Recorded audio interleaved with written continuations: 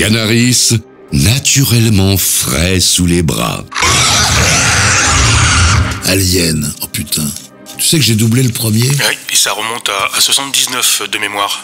J'ai- doublé l'un des personnages dans le premier Alien. Un, un technicien aussi, hein. Je- comme je ne supporte pas ce genre de truc, au bout d'un moment, mais je crois que c'était le premier qui mourait, je sais plus. euh, ah si, si, mais il y a plein de gens qui m'en ont parlé.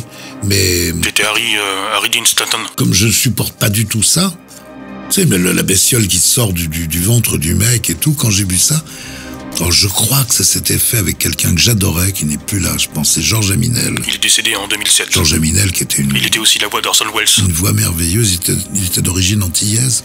Alors tout le monde disait qu'il était terriblement susceptible. Avec moi, ça a toujours été un amour, j'ai jamais compris. Et attends, c'était lui qui doublerait entre autres Yul Brunner. Et de Dark Vador. Une voix, mais un comédien merveilleux, quoi. Et je me souviens qu'on a fait ça ensemble. Et comme je supportais pas, moi, je, je- ça, ça m'amuse pas du tout, ça. hein. J'avais dit bon, ok, bah, maintenant vous coupez l'image. Mais vraiment, hein, je faisais couper l'image pour. Ah non, mais ça me, ça me mettrait mal à l'aise. Moi, ça me fait pas rire. hein. Euh, Rambo qui a peur d'une petite Ah bestiole. non, attends. Euh, à coup de grenade, c'était réglé, hein. Bon alors, Bon, on change de registre et on passe sur l'immortel. oh l'immortel carrément. Allez, on se reconcentre, ça tourne. Yanaris. Recommandé par les plus grandes marques de lave-linge. Parfait, ça c'est fait.